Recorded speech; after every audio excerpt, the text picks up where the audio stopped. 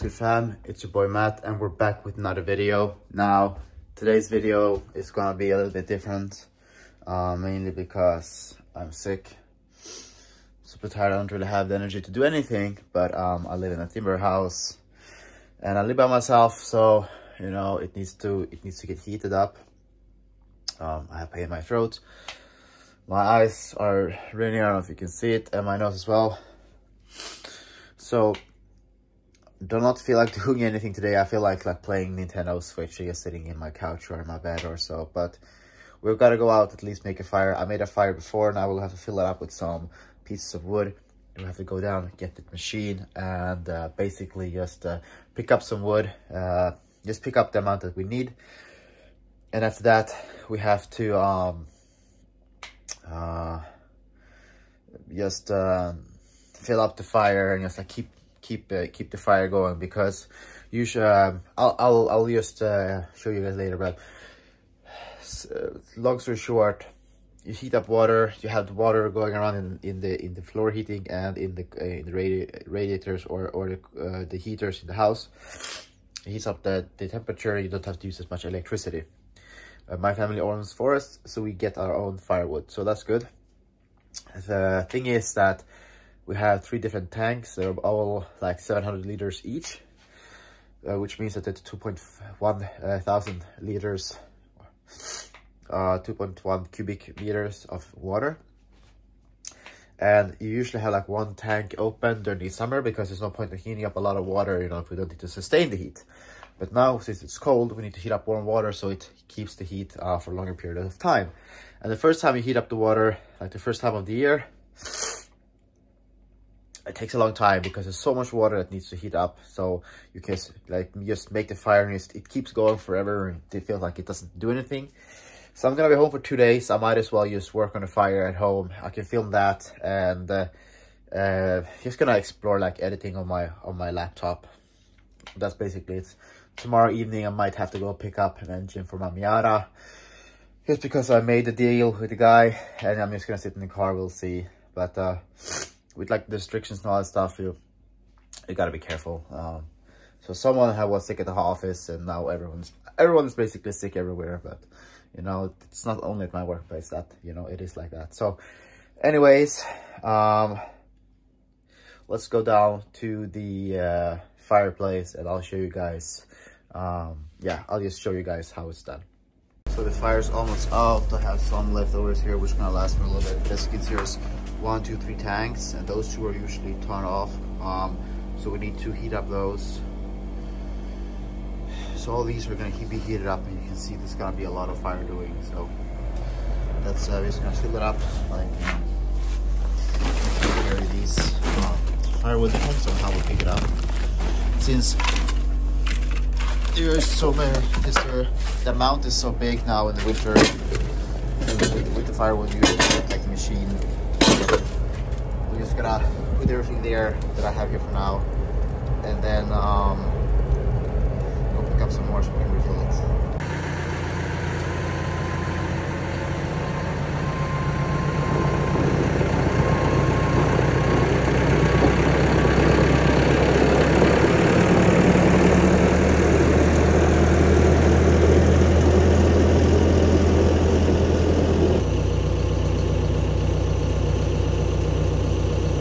So first didn't film it when I picked it up. We're basically gonna fill this one up with some firewood. And uh, once that is done, we're gonna park it outside of my my house. And after that, we're going to um, park the tractor garage again and fill up the uh, fire heater with the firewood burner and that's basically gonna be like the biggest task of the day so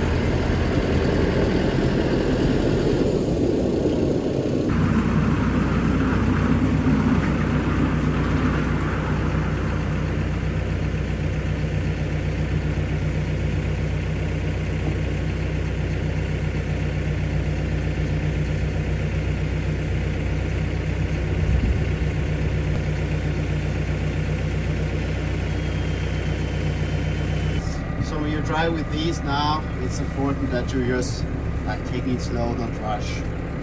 Um, because if you drop these on the ground, it's gonna be a lot more work and I'm basically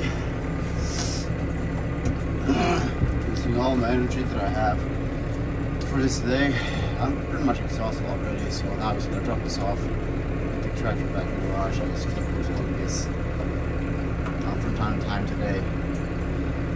That's basically gonna, I think this is gonna be like the whole video. I wanna put up something every day and I just had to do this regardless. So might as well just get something out of it, you know, other than keeping the house. So, going up there. Um,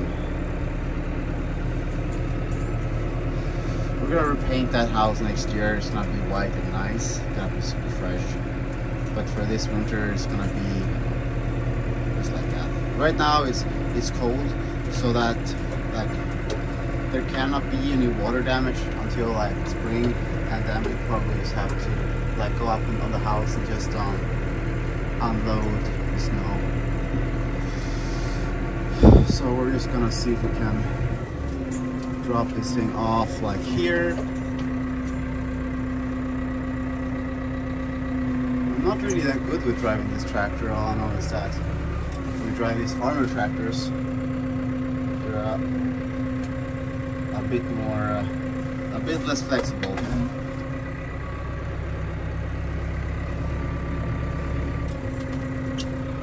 We go. So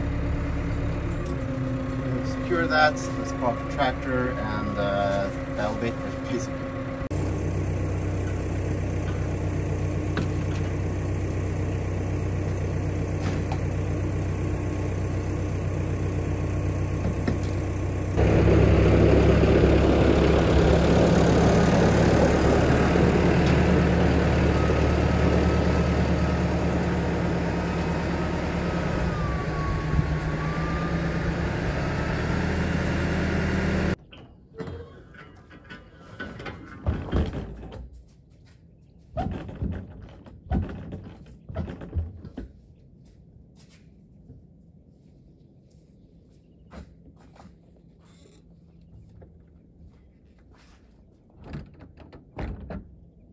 All right, so now this one is fully loaded. The fan is off currently because we set the heater to 80 degrees. So basically whenever it reaches 80 degrees, it shuts off. So we make sure that the fire does not uh, spiral out of hand. And what happens then is it takes all the warm water from this one and just try to flush it out to the rest of the system. Once the, uh, the temperature has gone down to like 60 here, the fan will go back and it will keep going on and off like that.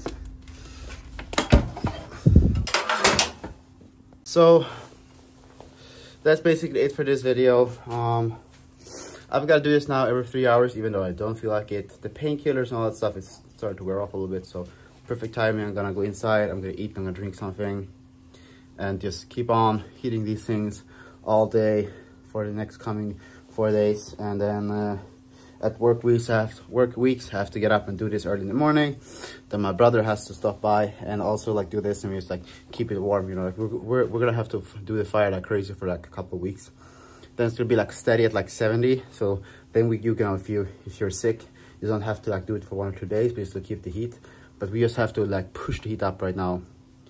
Uh, it's gonna take a lot of firewood, but you know that's how it is to live on the farm one day of the life, you know. This is what I will probably do is high, uh, you know, uh, ice plunge, ice bath, and, uh, and, you know, taking care of the farm. So, you know, it is what it is. But thank you so much for watching. I hope you enjoyed the video.